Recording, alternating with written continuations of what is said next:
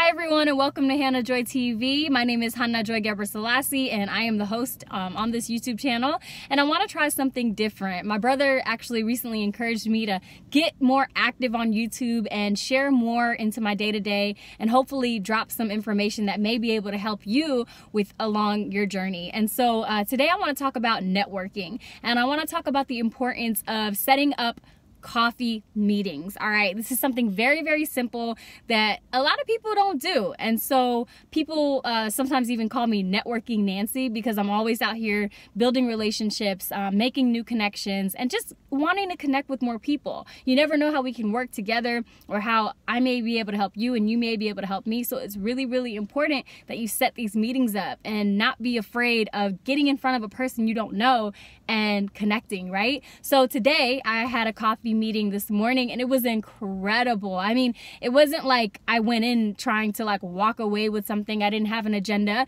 Genuinely wanted to connect with this woman who I found to be a like-minded individual.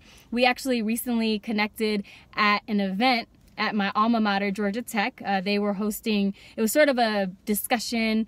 And then after the discussion, there was a reception and it was awesome. We just kind of connected, we exchanged email addresses, and that was maybe, what, a few weeks ago. And so here we are now. You know, we put a date on the calendar and we got together for coffee this morning and it was awesome. We exchanged just information, we were able to pick each other's brains, and it was really, really uh, fruitful and just a productive way of getting my day started. Now, it's not like I went in thinking, oh, I want to land a business deal or oh, I want to walk away with something. You know, you don't have to think like that going into meetings. Sometimes it's just about building a connection and forming a new relationship with someone.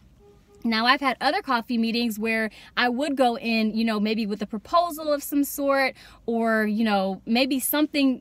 It just depends on the nature of the meeting and the nature of the relationship that you're forming. Some are to genuinely build relationships with people that you don't know, others can be to, you know, create collaborations, make deals, all these different things. But my encouragement to you is to get out there, set up a coffee meeting. I challenge you to set up a coffee meeting with someone you do not know once a month.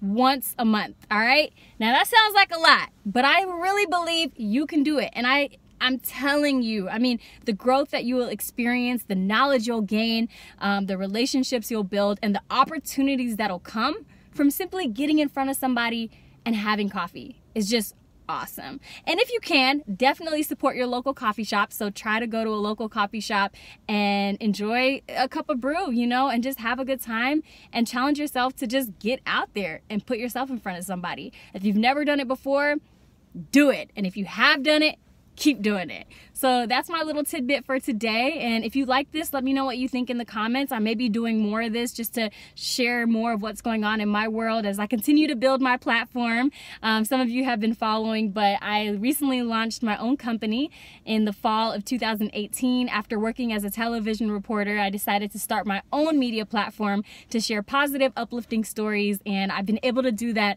I also launched a brand that goes along with my mission and that brand has actually reached several countries and several cities and states across the United States. So I'm pretty pumped about that.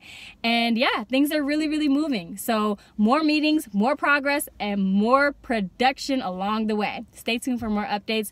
From my heart to your heart, sending lots of love, positive vibes, and peace. Mwah. Have a great day, everybody.